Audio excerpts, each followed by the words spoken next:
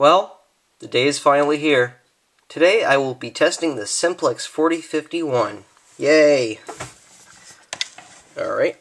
Simplex 4051. It's DC, 24 volts. Yeah. Whoops. Here we go. So, without further ado, here we go.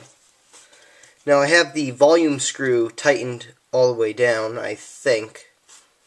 So in three, two, one.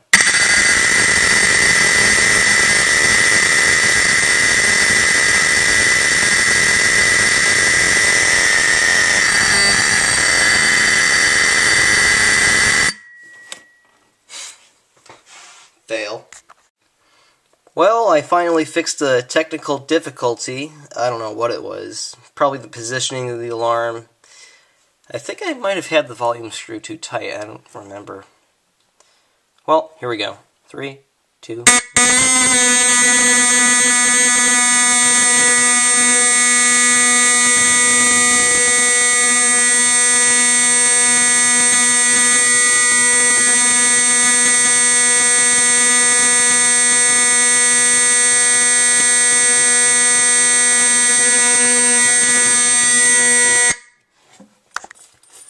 Now to activate it with a pull station, we have the Simplex 4251-20. I know it's not in the greatest of shape at all, but I got it that way. I've had plans to restore the whole thing, but I never got around to it. So, it is what it is. Anyways.